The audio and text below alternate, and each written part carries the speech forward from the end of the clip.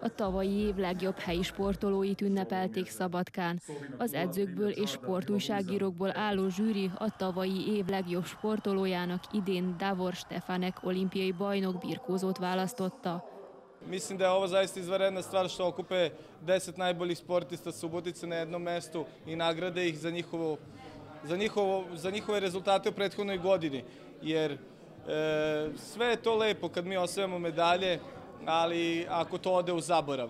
Ovo, ovo što radi Subotica i dodela najboljeg sportiste godine Subotice i medalja Lajoša Vermeša su zaista izvanredne stvari. A második legtöbb pontot Kajdocsi Tamás súlyemelő ért el. A felnőtt Európa-bajnokságra készülök, ami április végén lesz, de a, nem csak a klubunkból nem csak én, hanem Rozsnyik Ervin és a bátyám Tivadar Kajdocsi is készülünk. Ez lesz az első nagyobb verseny az idényben. A sportolókat teljesítményük alapján pontozza a zsűri.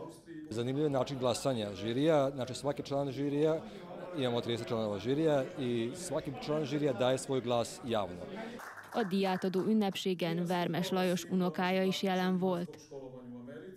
Számomra igazán nagy megtiszteltetés, hogy nagyapámról elnevezett díjakat országos és világhírű sportolóknak adhattam át.